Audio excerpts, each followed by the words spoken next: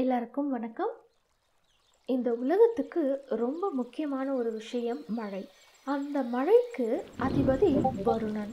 அப்படிப்பட்ட வருண பகவானுக்கு ஒரு தடவை ஒரு தோஷம் வருது.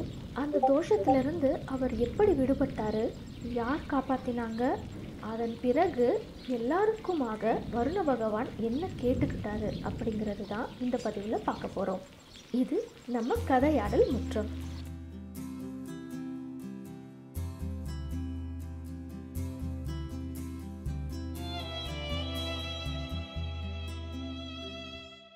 இது வரைக்கும் நம்ம சேனலை சப்ஸ்கிரைப் பண்ணலைன்னா மறக்காமல் சப்ஸ்கிரைப் பண்ணிடுங்க மழைக்கு அதிபனான வருண பகவானுக்கு ஒரு தடவை பிரம்மஹத்தி தோஷம் பிடிக்குது.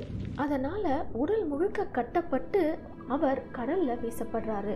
கடலுக்குள்ள வருண பகவான் கட்டுப்பட்டு கிடந்ததுனால உலகம் முழுவதும் ஒரே வறட்சியாக இருக்கும் அந்த வறட்சியினால எல்லா உயிர்களுக்கும் ரொம்ப கஷ்டமாக இருந்தது.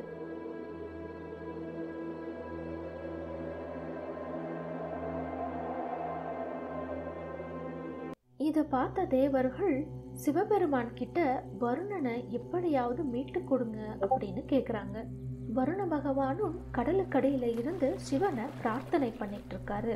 வருணனும் தேவர்களும் மனமுருகி வேண்டினதை பார்த்த சிவன் வருண பகவானை மீட்டெடுக்கிறாரு.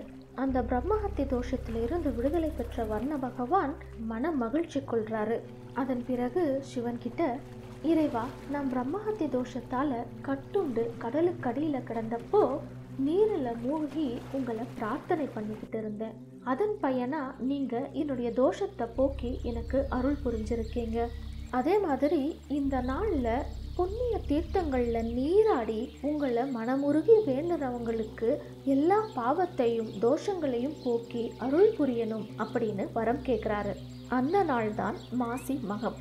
சிவனும் அந்த வரத்தை கொடுத்துட்றாரு அந்த வரத்தின் காரணமாக மகாமக குலத்தில் மட்டும் இல்லை எந்த ஒரு புண்ணிய நீர்நிலையிலாவது நம்ம மூழ்கி இறைவனை மனமாற வேண்டிக்கிட்டு பிரார்த்தனை பண்ணால் நம்மளுடைய பாவங்களும் தோஷங்களும் கழியும்.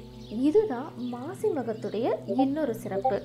கும்பகோணம் மகாமக குலத்தை பற்றின சிறப்பை இதுக்கு முன்னாடி பதிவில் பார்த்துருக்கோம். அந்த பதிவுக்கான லிங்க்கு டிஸ்கிரிப்ஷனில் இருக்குது வேணும்னா பார்த்துக்கோங்க.